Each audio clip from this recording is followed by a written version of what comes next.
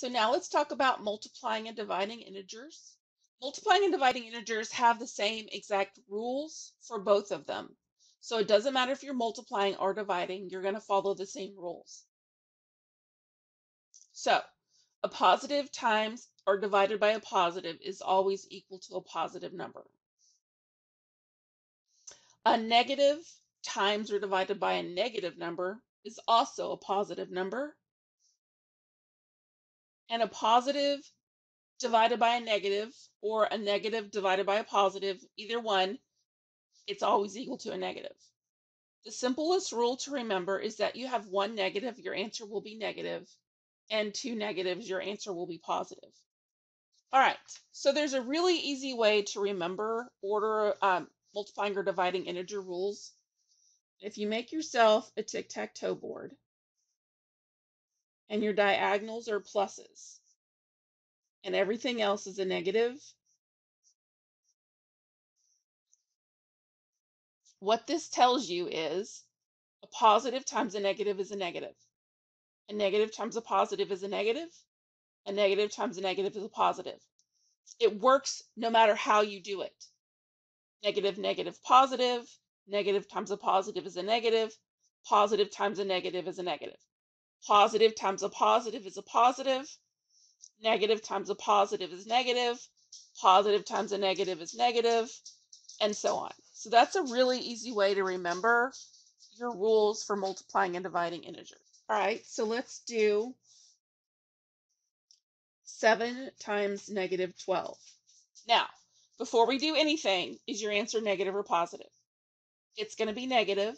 So this 12 times 7. 7 times 2 is 14. Carry the 1. Sometimes 1 is 1.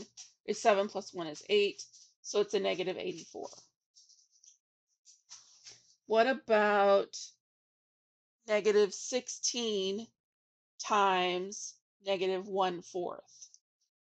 Okay, so you need to change this to a fraction. Negative 16 over 1 times negative 1 over 4. Now remember, a negative times a negative is a positive. What's 16 times 1? What's 1 times 4? And now what's 16 divided by 4? 4.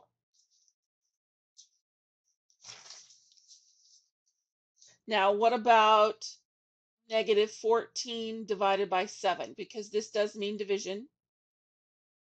So how many times will 7 go into 14? 2. And remember, 1 negative, my answer is negative. Now, this is tricky, and I'm pulling this directly from your homework. So negative 14 over 5 divided by negative 19 over 12.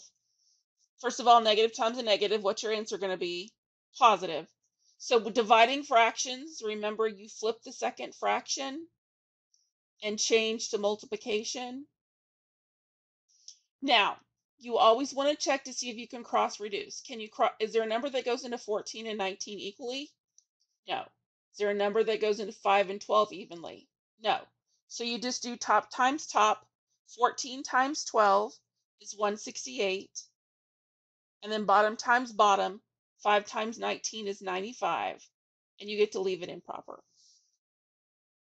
And that is dividing and multiplying integers. There is one more thing that we need to talk about with fractions and dividing.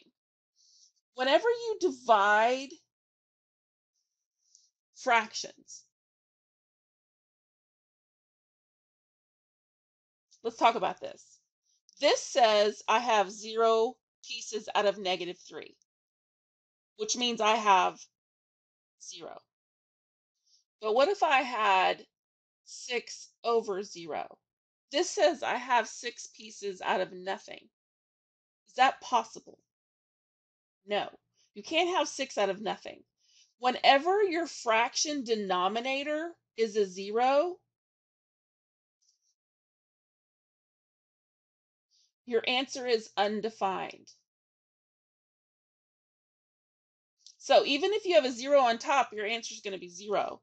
But a zero on the bottom is always undefined. So let's take a look at a couple of more than one operations. So let's say that I had negative 15 times negative 12 over 17 minus negative 3. So this has got everything in it together. So let's do the top first. What is a negative times a negative? It's a positive. 15 times 12 is 180. Now, what do we do here? What's a negative and a negative? And this becomes a positive. So what's 17 plus 3? 20. And now what's 180 divided by 20? So these cross off. 18 divided by 2 is 9. One more. Negative 3 minus 5. Negative 2 plus 6.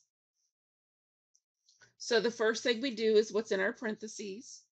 Remember, we have to change this to plus negative 3 plus negative 5 is negative 8. The next thing we do is multiply.